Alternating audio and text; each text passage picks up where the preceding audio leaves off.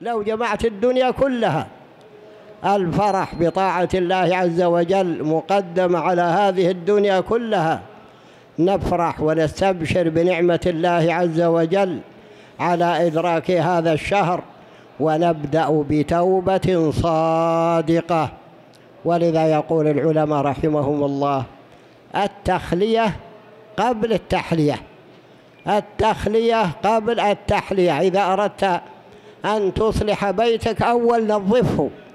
فأنت إذا أردت أن تعمل الأعمال الصالحة نظف قلبك من الأمور التي التي فيه.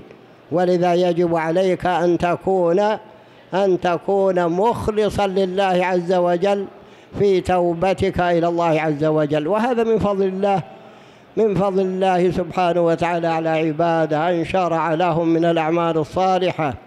ما يكون سببا لمغفرة الذنوب ورفعة الدرجات. وهذا فضل من الله. فضل من الله أن وفقك أن وفقك لهذا العمل الصالح. لولا معونة الله وتوفيقه ما استطعت أن تقوم به.